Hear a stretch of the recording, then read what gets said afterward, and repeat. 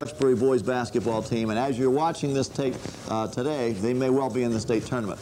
And but first of all, by way of introduction, my name is Bill Wilhelm from WATD. And with us we have today Mickey Curley.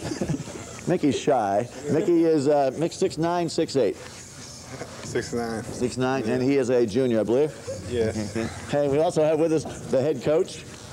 Hello. uh, Mr. Clark. Okay. Reg is 6'5", on, on, on his toes. He'll, he'll be the spokesman in just a moment. And also an outstanding soccer player right now, averaging just under two a game. John Show. Five eight. Junior. And junior, very good. Okay, another one of the big guys, one of the unheralded big guys, I might add. 6'5", they say, Dan. Oh yeah, I'm Dan Kwok, six five, junior. Okay. And also we have Uh, Aaron Smith, six feet, junior. Greg Senzo, six feet, junior. outstanding guard, I might add. Andy Leonard, five ten, senior.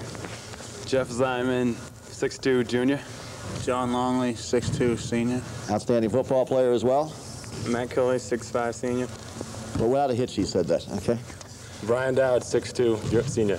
Okay. As I mentioned earlier, this team, as we're talking to you, they've only lost one game all year, a very tight ball game to Durfee, a team that they had beaten in one of the most exciting basketball games ever uh, seen or heard here on the South Shore in the uh, opening game of 1993, 92, 93, if you will, uh, and a game that they won here as uh, they defeated uh, Durfee before a sellout crowd in the first game of the year.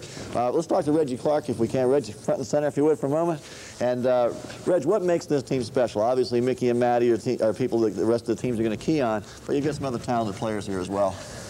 Yeah, we, we got a lot of hardworking people, and um, I, I think they understand.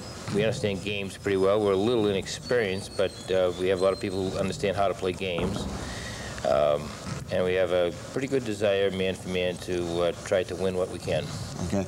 In your division this year, it's going to be very interesting come tournament time. Sharon is currently undefeated as we as we tape today. Jeremiah Burke with Bunny Jefferson averaging about 35 a game. They're going to be there. Scituate's undefeated. There's a lot of competition this year.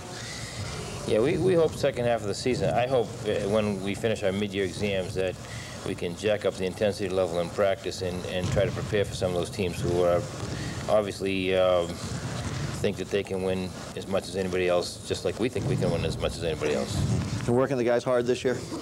Not yet. Uh, we, we work we work fairly hard, but uh, next next week we're going to try to jack up some of our uh, detail and skill drills, see what we can get for energy level, um, intensity, and So far, it looks to me, and today, I just seeing you scrimmaging back, everybody seems to be having a good time, having a lot of fun. Uh, except that they uh, complain about me being a referee. Well, they have referees out there in the real games too. They might as well get used to it, I guess, right? Yeah, I'm, I'm, I'm a pretty good referee compared to some of them.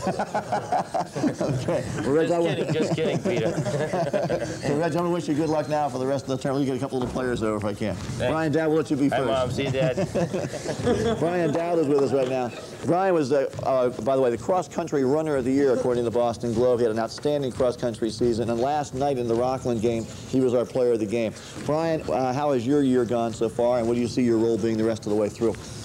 Um, it's gone as just about how I hoped it would. Uh, just uh, trying to play my just play my hardest on defense and get the ball to the big guys as much as I can. Um, having, I had a little trouble with that at the beginning of the year. Hopefully, I've, I've improved at uh, getting them the ball more. Um, and my passing, hopefully, my passing will get better as the season goes on. Next year, your goal? Um, I don't know yet. We'll be in college somewhere. oh yeah, college, yeah. Okay, very good. Okay, thanks, Brian. Let's get Matty over here. This is Matty Curley. He's been our player of the week uh, several occasions so far this year. Uh, as a senior this year, he's uh, going to attract a lot of attention. He's an outstanding player, not only underneath the basket with his height, but he's also an outstanding player out in the open court as well. Matt, uh, who's been the toughest competition? Obviously Durfee, but who else in the league? Rockland's been tough. Last game the other night. It's tough on defense. Okay. You're going to see, uh, as we're broadcasting this now, a lot of teams out in the South Shore are going to be watching you up in Scituate and other area teams that may see you in the tournament. You have any messages for them? No. No, okay. You- You'll be ready when the time comes, right? Yes. Okay, Matt, very good. Let's get Mickey on here. We're running out of time. Mick, step up here. Mick's been anxious to do this all day long, I could tell. Okay, Mick, as everyone gets ready to play Duxbury, they know they one thing they're going to have to concentrate on is uh, Mickey Curley. What, what goes through your mind the day of a game? Just play hard, work the hardest you can, because you know there's like there's five guys in the court, and our teammates can back you up all the time. Okay, everyone asked me this question. Contrast Mickey Curley with Billy Curley. I'll let Mickey do it. He's blonde-haired, left-handed. You have dark hair, and you're right-handed, right? Yeah, I guess that's about it. Can you beat him one-on-one every once in a while in the driveway? Yeah. Okay, okay. mix a man a few words. Mickey, thank you very much. Guys, any messages for the teams around the South Shore? We'll get better. We're getting better, they say. Okay, this is Bill Wilhelm from Duxbury High School. Thank you for joining us on Spotlight on Sports. Bye-bye.